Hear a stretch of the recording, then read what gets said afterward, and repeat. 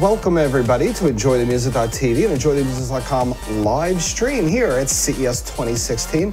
We're with Riki Farr of Riva Audio. Let's go ahead and I'll zoom in on me a little. I'm Steven Rochlin of EnjoyTheMusic.com and EnjoyTheMusic.tv. Great, I'm great like- to be on online with you guys. Oh, thank you. We really appreciate you guys taking the time with us because you actually have this incredibly well reviewed, highly rated Bluetooth slash battery powered speaker.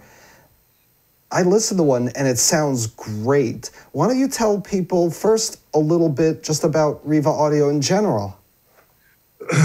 Well, I, I'll give you the shortened version because I know we're on a time crunch. But, um, you know, my professional career started with John Lennon and back in Hamburg. And, John you know, who? Never heard of him. yes, John Lennon. Oh, that guy. that guy. And, you know, um, I spent many years being the producer, both from mainly with audio, with many bands which are now legends the Pink Floyd, The Who, Rod Stewart, and many, many others. I was co manager of Jeff Beck for many years and a lovely American band by the name of The Tubes. so I've I've spent many years in the music side, and by pure accident, I was at my daughter's house and I heard my grandson playing through a very well known product, music that was actually being rehearsed and learned prior to recording in my warehouse in London. And it was from Dark Side of the Moon. And I was hmm. listening to it and I was saying, this is the most constipated, treasonous version of the music. What the hell is going on? Ah. And I looked into it and realized that there was millions of these things being sold, and some atrocious, some nearly atrocious, and some reasonably good. But I felt that the music deserved a better, a better break.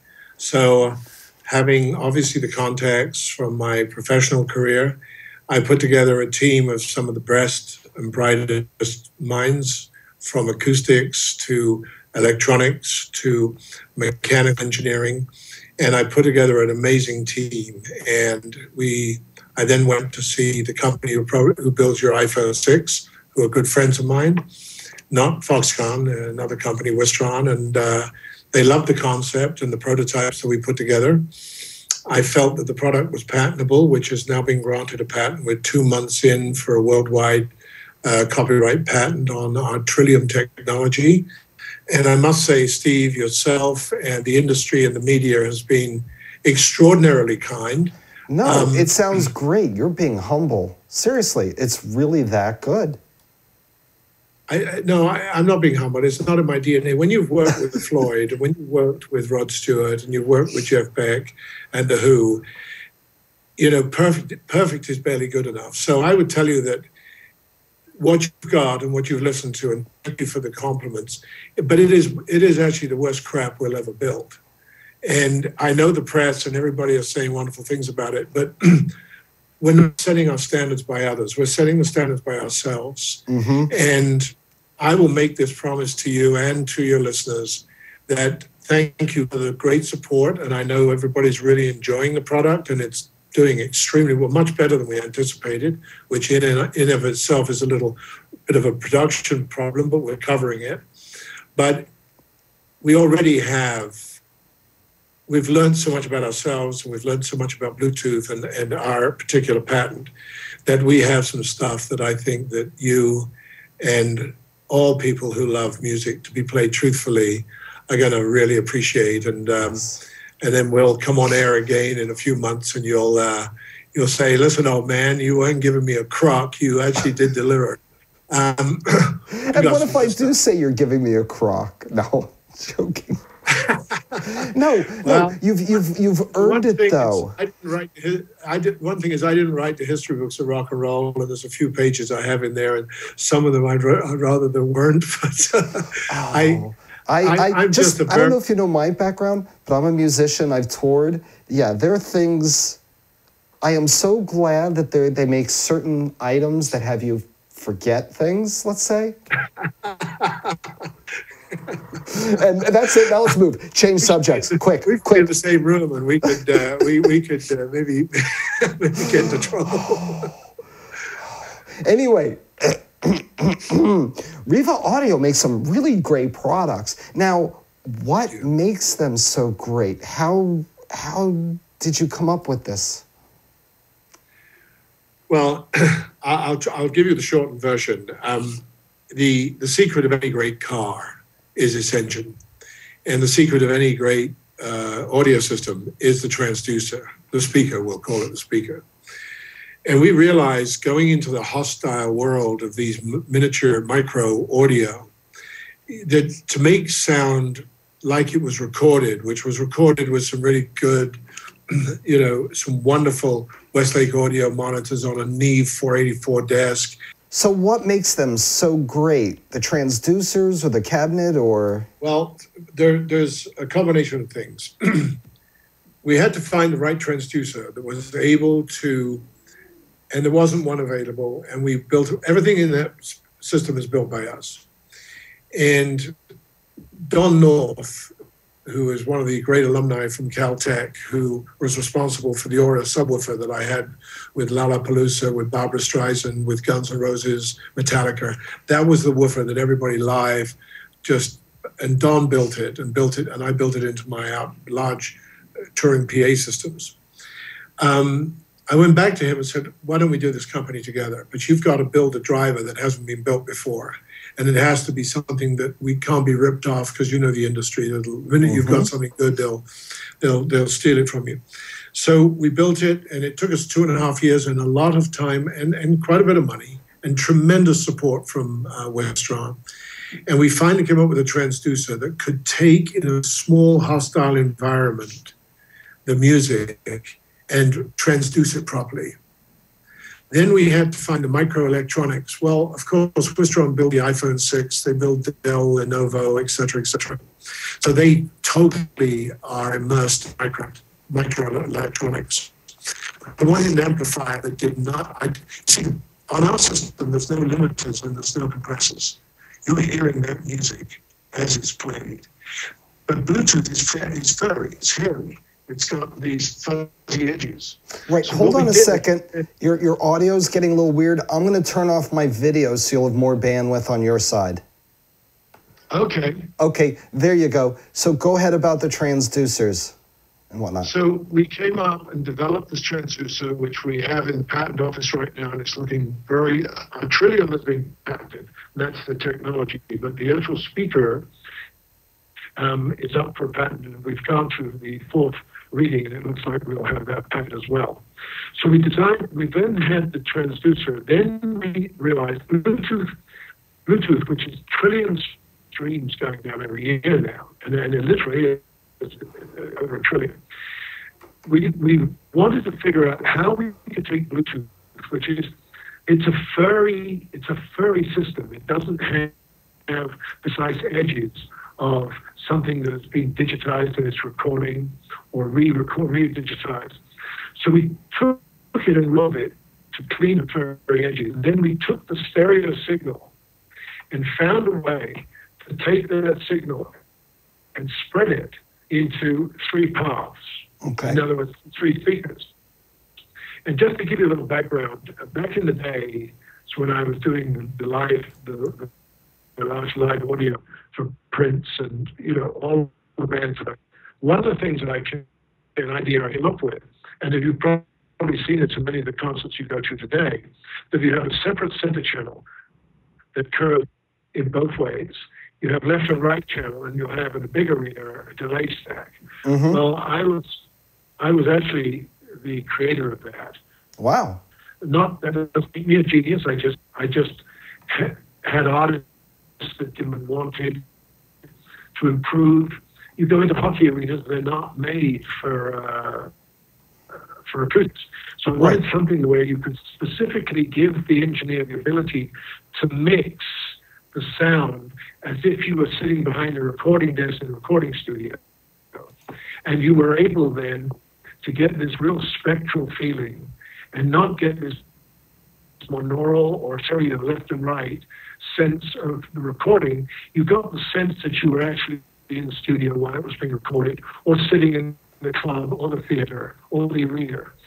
And that's what Trillium, and that's the patent they've given us, That's Trillium, whereby we've been able to find this secret source and take without making psychoacoustics and all those shenanigans and sound and present it where all those instruments coming through three speakers in three different directions. So that anywhere you walk in the room, you feel you're walking around in a nightclub. And you feel that you know where the drummer is, you know where the bass player is, you can feel the keyboardist, the horn player, and right in the center, the vocal. And you can hear the presence, or as we say in the recording industry, the wetness of the vocal. Mm-hmm. And once we got that in this small box, we knew that we were onto something. And we knew that we were onto something for a niche. We had no clue that so many people are dissatisfied with what they've got and are embracing us. And it's a little overwhelming and, you know, frankly, very flattering. But it makes us also realize that we have a greater responsibility to make it better, Mm-hmm. produce it better, and recreate better ways because personal audio, small personal audio Yes. and streaming is clearly the future. And with what we've been demonstrating in the room, I'm, I'm in the room uh, from our case room next door, and it's like a nightclub. I- I cannot believe the amount of attention and the amount of people that are showing up. But they're all the, the word is very simply this, Stevie. They're saying Mhm. you've broken the Bluetooth code. In Well, other you words, have. you've. Well, I- I love mean- you for that, man. and I love you to spread the word because there's people who can hear the music, which they own. They have it on their device. It belongs to Right, them. but a lot of the problem Why has been. all of it? Well, that's exactly it. It's like I've been going on about MP3. I'm a huge proponent of high res audio. But what amazes me is, you know, there's there are guys like you and hopefully some people like me that like, you know, we're always looking to push the edge. We're always looking like we listen to something or hear something in a product and we're like, either it's good or it's rubbish or it's like, wait a minute, I could do so much better. And the next thing you know, you're going in there and you design something and then you let some people hear it and they're like, I do this experiment all the time with people that I come visit or my neighbors, and you hit on something that is so highly wanted. Like you said, your room's incredibly busy. It is, and and you know, I'm,